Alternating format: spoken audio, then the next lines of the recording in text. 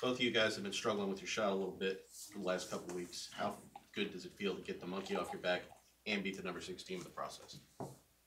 Um, I mean, we just tell each other to keep shooting. Um, not just us two, just everybody that shoots the ball. Honestly, uh, every night gonna be your night. But one thing that carry over um, that the coaches uh, harp on is our defense. So we just continue to play, just continue to hoop. Tyrece, you hit that three uh, uh, late. I- Go ahead. Sorry. Um, yeah, like Bruce said, I know our shots as, as a team we haven't been shooting well. Um, so we just wanted to continue to just get stops so we know stops to lead us to our offense. And I know they scored 90 points, which is a lot, but I feel like we were still together as a team. We told each other to keep shooting, and the shots are gonna fall, and we'll be fine at the day. I think that's what happened tonight. Tyrece, you hit that three late, and they get getting called for the offensive foul. What was your view on that? When did you know the foul was called uh, on that play? Uh, I mean, when I laid on the ground, I, I looked directly at the ref that called it, and uh, I mean, I think zero on 18 was doing it the whole night. I don't think uh, I did it purposely. If that's what I did, or that's what the video showed, I don't think I did it intentionally. But hey, um, I just needed to uh, move on to the next play. and My team did a good job with helping with that. Was there any point after the whistle was blown that you thought you might have gotten the and one instead of getting the foul call? Or I did. I thought it was the N one at first, but like I said, I looked uh, at the ref that called it, um, and he, he just, you know, he did that, and I was like, really? but it's cool. And then for both of you, what what- was there any talk, or did there need to be any talk about free throws down the stretch? Because down the stretch, y'all were y'all were really good at the free throw line. Um, no, I think our team knows that one of our main key points of um our offense is make free throws, get fouled, offense rebound, get fouled. It's two of the things that we harp on a lot. So we knew down the line we got in the bonus. Coach said it at like 12 minutes. Yep. He was like, "We gotta get in the bonus because it'll help us at the end," and it did. So we just continue to harp on that and um, make sure we finish our free throws. Wait, y'all even look at this and say, hey, this is a, a game that can change the, the, the direction of the season, or do you just look at it as like, okay, got a big win? Um, it's only the third game of conference. I think we should look at every game like that because you know we start off 0 and 2, and I mean every game in this league is big because you never know who can be on that night. But this was, um, I think, the right step in the direction. I think we did a lot of great things tonight. Um, kudos to Kentucky; they played really well. Um, but I think tonight we just show um, how resilient we are um, and how the Aggies play. Tyrece, this is the best you've felt since you've been back. Uh, yes, yes. Uh, um, in preparation, coming to the game, my team uh, and the coaching staff did a real good job of, um, you know, pad work, uh, game shots, and uh, just our preparation for the game. And coming into the game, uh, even to the start of the game, um, they were just saying, just hoop, just be myself. Uh, just like I was telling Ford, and just like I was telling Jace and the rest of the team. So I think, yes, this is the best I felt. And you know, you guys said you know every conference game is big, but you know, what does this do momentum-wise that you, know, you have a, a win like this, especially early on? That you know, hopefully this kind of play carries over. I mean, we finally in the win column, you know. Um, but I think this just it's just a momentum swinger as far as like us finally like showing that um, all the things that we're working on and all the things that we're doing is is the right thing. So I think that's just um, the way we have to look at it. You know, watch film, just correct the things that we didn't do so well tonight, but just continue to just be um, thankful for for getting the win today. for either of you guys. Uh, what what does Solomon Washington give you guys, especially on the defensive side the floor? How much do y'all miss him too?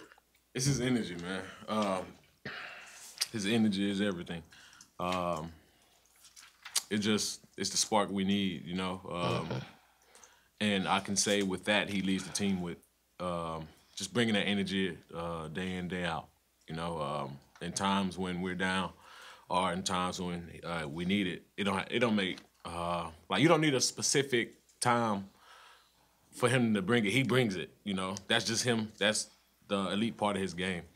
It's just bringing that energy, bringing that spark. You know. Yeah, I think it's contagious. Um, he's not scared of anything. So I just feel like once he checks in and once he gets locked in on either side of the ball, man, he's um he's a heck of a player.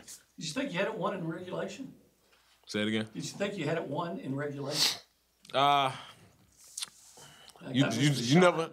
I mean, it was it was close. So um, we never want to be Jacob with that. Um, it turned like we had to go in overtime and play a whole nother game. So uh, just being locked in in the moment, uh, that was taking place. I think it was really important for us. So we're not gonna say we just thought we had it won because I mean Kentucky got a really good team. They hit big time shots, you know, and um, it just took us to overtime, and we did what we needed to do to get the win. So did you foul on that, on that last play? at? I felt I swiped, but I don't think I fouled. But I mean, it may say different.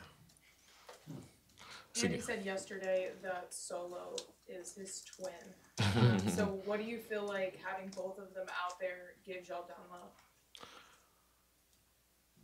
low? Uh, energy on top of that. See, Solo is more vocal than Andy.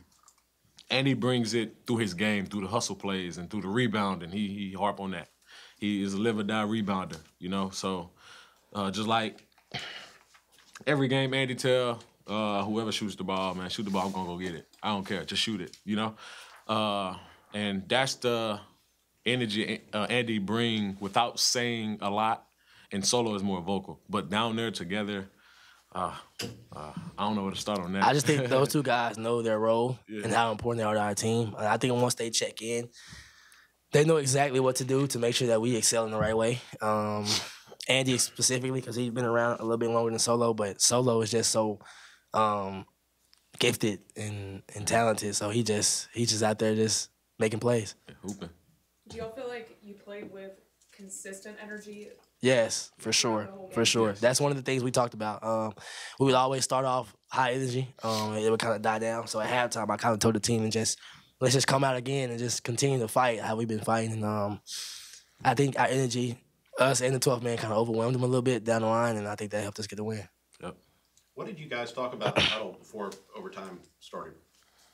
Whole another game. Um, Zero. regulation's over. It's zero zero. We gotta continue to get the turkey. We have to get the turkey in overtime, and we would win. I know you talked about Solo kind of being hype and the energy. It Was it not a surprise at all? Was it you that you needed to have him come over to give you a five after the free throw because he was too busy getting the crowd hyped there? Uh, yeah, it's kind of just a routine we do. Like we just want to get everybody to dap because if, if um, one of us does something that helps our team, we need to make sure that we acknowledge it. And um, I just wanted to keep them level headed at the same time. You know, Solo get he'll get too excited, so I just wanted to make sure we was all grounded so we can back, pull out the bring win. Got to bring him back in. Yeah, for sure. First You win. sense- oh, go ahead. Go ahead. So I was just saying, first win over Kentucky since Buzz has been here. I mean, does Facts. that mean anything? I mean, we just talked about it this morning. Um, we had shots with Buzz yesterday. The skills we do. He was like, neither one of us, nobody that's here has won against Kentucky since anybody's been here. So um, today was another stepping stone that we made.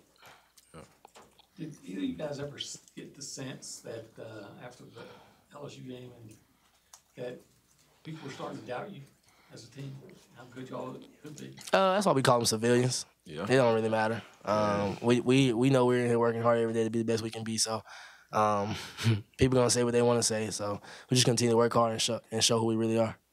Okay, anything else? Thanks, guys. Thank y'all.